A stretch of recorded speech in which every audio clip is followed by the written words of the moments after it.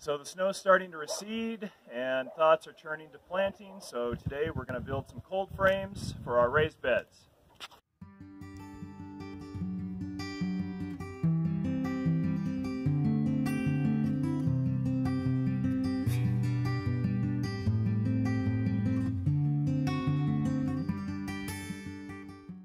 Welcome to Bearly Homesteading. This is Lumberjack and today we're going to be building some cold frames for our raised beds. Uh, these beds are about 4 by 12 feet long and wide. And we're going to be building uh, cold frames in three sections that we can lift off as the weather warms up and we can put them on as the weather gets cold. So our cold frames are going to be built out of 2x4s and 2x6s and then have a plastic top let the sunlight through and warm them up. Uh, we're going to slant that top so that if we do get some spring snows, it'll run off and not sit on the top and, and potentially break the cold frame. So first we're going to start with a box on the bottom. Two of the sides are going to be 2 by 6s two of the sides are going to be 2 by 4s I want the bottoms of the 2 by 6s to sit below the 2 by 4s and that's going to sit inside of the raised bed. And then on top of that box, we're going to build uh, some slanted sides that we can attach our plastic uh, roofing to so that uh, we get, um, as I said, that slanted roof to let the rain and the snow run off. So let's get started.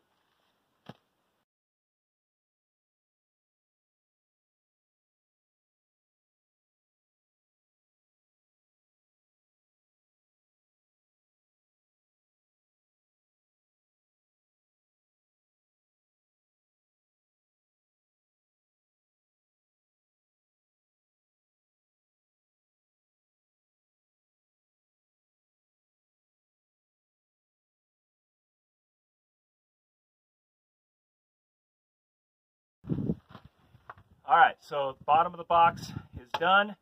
Now we're going to cut the uh, sides at an angle, put a back on, and then we'll be able to put the roof on. To cut the uh, sides at an angle, I'm going to cut it at length first, and then we're going to go into the table saw to cut the angle.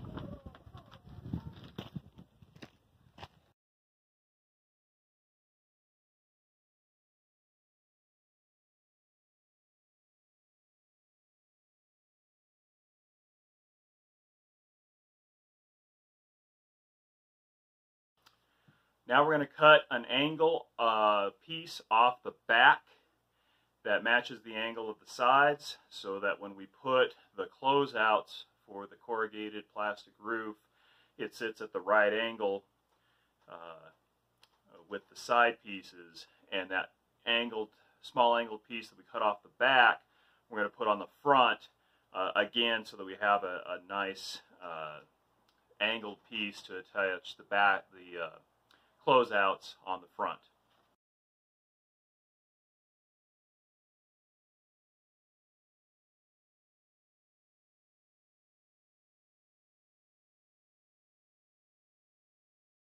While we're here in the garage, we're going to go ahead and cut our corrugated plastic roof. A couple of things to note about these uh, that I've found uh, from working with them over the years. First thing is when you cut them, you want to make sure that they're warm. If this plastic gets cold, it gets really brittle, and as you're cutting it, it will chip or crack. And so you want to make sure it's warm so it's pliable. So uh, if it's cold in the winter or uh, late spring, make sure you bring it inside, let it acclimatize for quite a while so that it doesn't crack on you. And it can get quite a, a few big cracks if you're not careful. Uh, the next thing is it can be very challenging to cut a straight line on these uh, because of the corrugations. So you want to make sure you've got some long shears that are nice and sharp. And I found that the best way to do this is to go ahead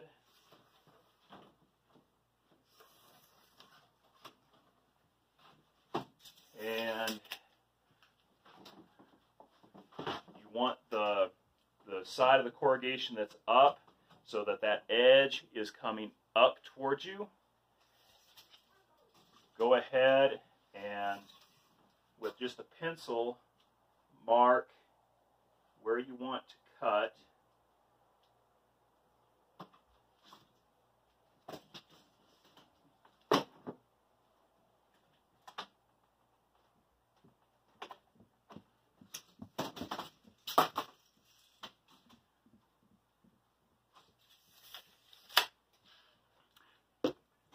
Go ahead and get a drywall square if you've got one. These work the best for this.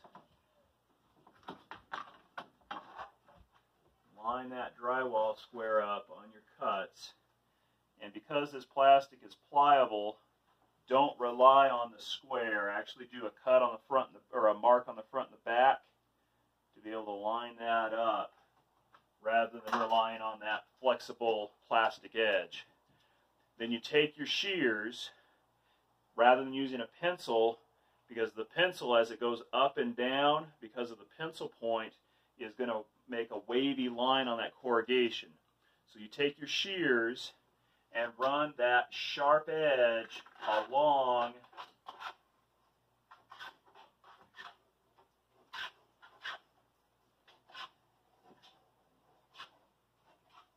the square and that will give you a nice straight line along those corrugations.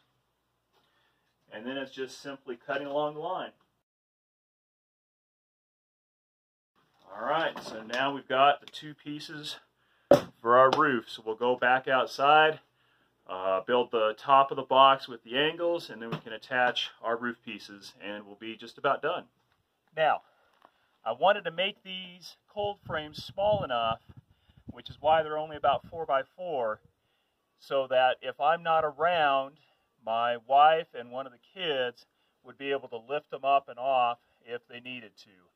Uh, unfortunately for my work, I do have quite a few business trips that I have to take and sometimes have to work late, so I wanted to make sure that these were small enough that the kids, uh, along with my wife, would be able to get them on and off.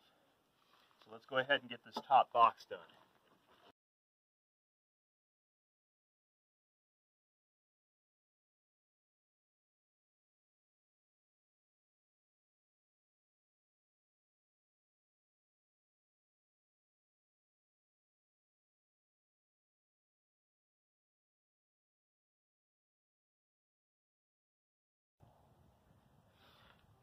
So the front of this, uh, the front of the top of the box is attached pretty good because I was able to get all the way through. The back's a little too tall, so we're going to put some corner braces to attach the top to the bottom.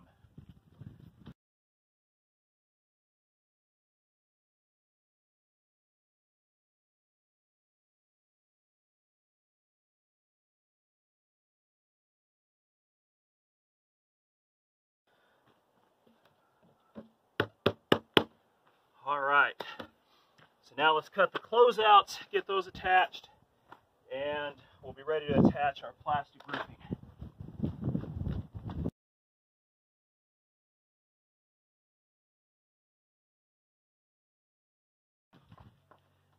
So when you're cutting these closeouts, you want to cut one and then use that as a template for the second one so that the crests and the valleys of the cutouts match on the top and the bottom of the cold frame. The other thing I'll mention about these closeouts is that I, for this particular project, I've cut them so that when I put the plastic corrugated roofing on, at the sides, the bottom or a valley of the corrugation is at the sides so that I can screw that down over here. If a crest was at the side, I'd have a big gap on the side. And again, I'm pre-drilling with the counter drill bit, especially on these closeouts. This wood is pretty thin in the valleys and is very easily split if you don't put a countersink in there.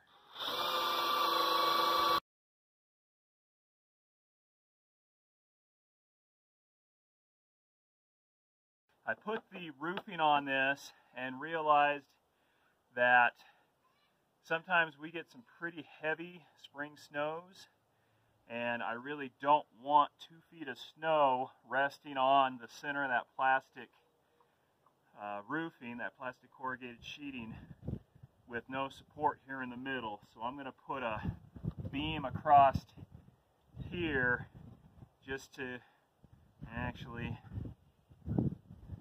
yeah, I'm going to put a beam across here just to give it a little bit of support uh, if we do get one of those big spring snows.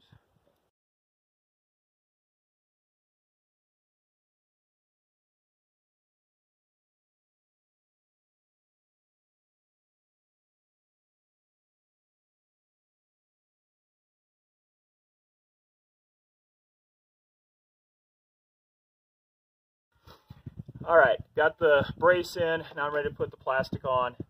You probably saw me kind of waffling back and forth about whether I wanted to that brace to run horizontal or vertical on the box. And I still haven't made up my mind. I'm going to do this one with it running horizontal. I'm going to do the next one with it running vertical and see which one works better. That way we know, and in the future when we build more of these, uh, we'll do it uh, the way that works better.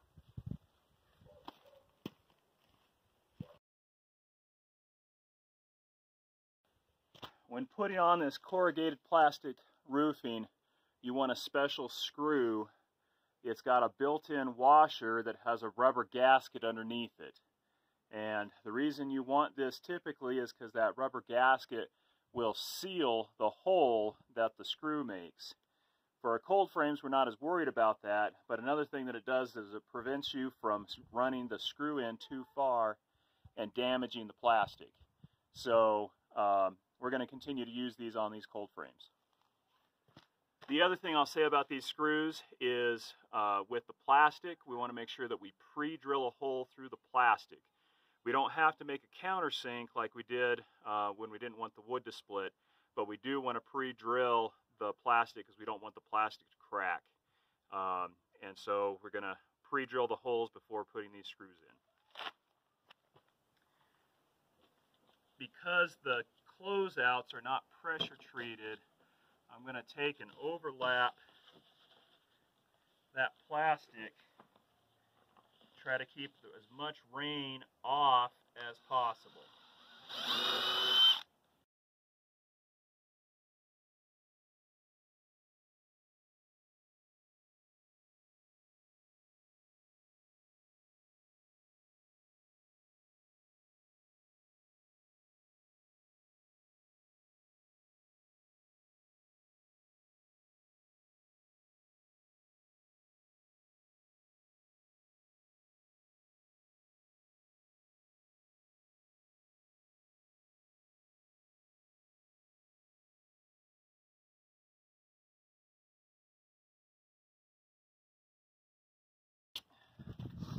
All right, so got the roof on, ready to take it over and put it on the bed, see how well it fits.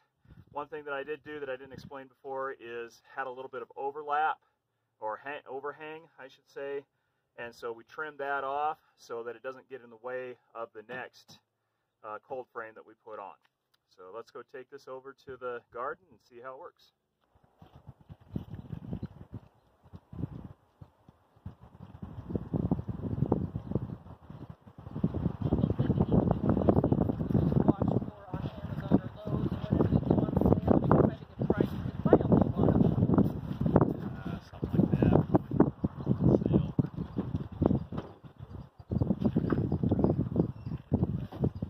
it even fits.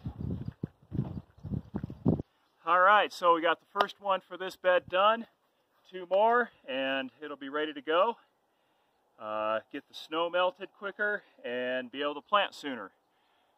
So as I've talked about in an earlier video, the reason why we need these cold frames uh, as opposed to some of the PVC and plastic frames that you may have seen uh, elsewhere is because our climate here just can't support uh, the plastic and PVC. We get too much snow, uh, which as if you've got the plastic down, will just tear that PVC apart We also have pretty high winds, which tends to uh, rip the plastic.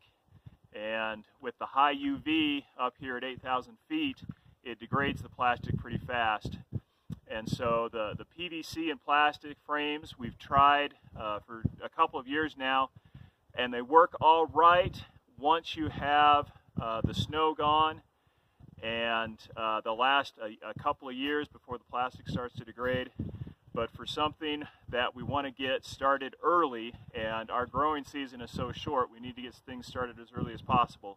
We really need something more uh, rigid and strong like these cold frame boxes. So uh, we're going to get at least one bed of them this year and see how they work and make modifications so that we can make them better next year. So after a trip to the hardware store to get some more screws and to pick up another board after I cut one wrong, all three cold frames are in. And hopefully here in a couple of days with that trapping the heat, the, all the snow that's still